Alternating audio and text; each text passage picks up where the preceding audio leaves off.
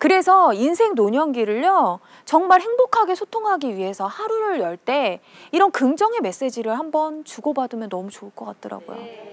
그런데 사람들은요, 항상 누군가가 먼저 나한테 다가오길 바래요. 그렇죠? 네. 그런데 내가 먼저 다가가면 그 사람이 승자더라고요. 네. 그래서 저는 여러분께 이렇게 세 가지를 말씀드리려고 합니다. 누가 먼저 노크를 하는 거예요? 내가 먼저. 헉, 내가 먼저 노크를 해주시는 거예요. 그 노크를 하실 때도 막 이렇게 하시는 게 아니라 부드럽게, 네, 부드럽게 노크 해 주시고요. 긍정의 말, 그 응원하는 메시지, 아자, 화이팅! 이런 말이요 정말 힘이 나게 해주는 말인 것 같습니다.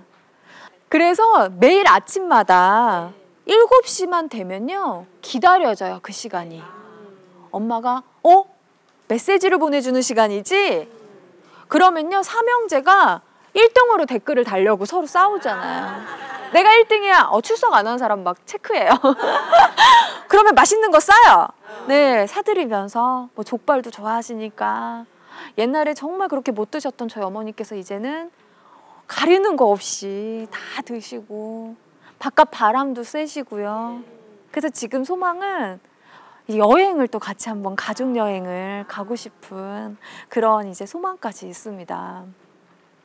그래서 우리가요 마음가짐에서 비롯된다라는 거 꼭 기억을 해주시고요. 종심이라는 말이 있잖아요. 종심이라는 말은 마음이 가는 대로 해라라는 말입니다. 내가 지금 마음이 가는데 머뭇거리면 돼요, 안 돼요? 안 돼요. 안 되겠죠. 그런데 사람이기 때문에 머뭇거리게 돼요. 근데 그러면 타이밍을 놓칩니다. 연애도 그렇고요. 소통도 그렇고요. 타이밍이 제일 중요한 것 같아요. 그래서 일단 제가 늙었다고 늦었다고 말하지 말고 지금에 하는 게 또 가장 중요하지 않을까 싶습니다. 일단 멈춰요. 멈추고 지금 지금 바로 실천을 해주시는 겁니다.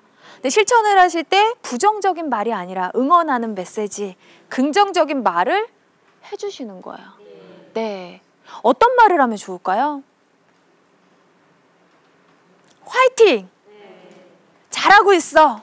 네. 칭찬도 해주시고요.